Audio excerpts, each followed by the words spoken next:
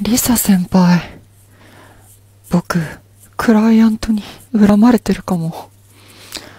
産神も大変ですね。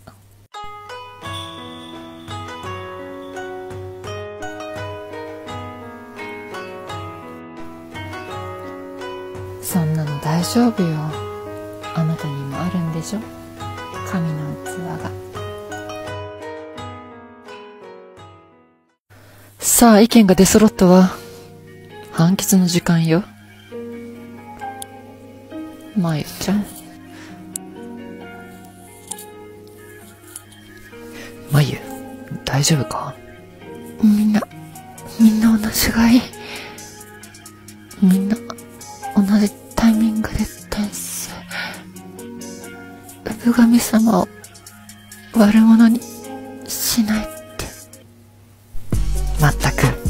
らしいな。受けたまわった。それじゃあ開票してもらうわ、どうぞ。もう一度確認だけど、この審判で負けたら、ルイは転生1からやり直し、まやちゃんはグレードダウンした人生になる。そして私が負ければ、私もグレードダウンした転生になる。この結果はどういうことよ？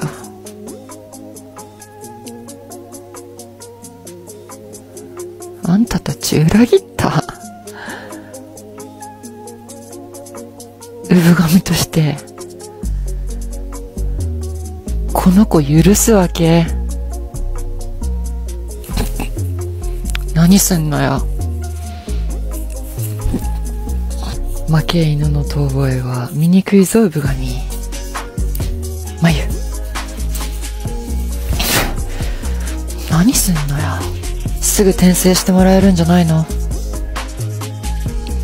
何をここで待たされなきゃいけないのよ。ルイこれでよかったのか？ああ計画通りバッチリだよ。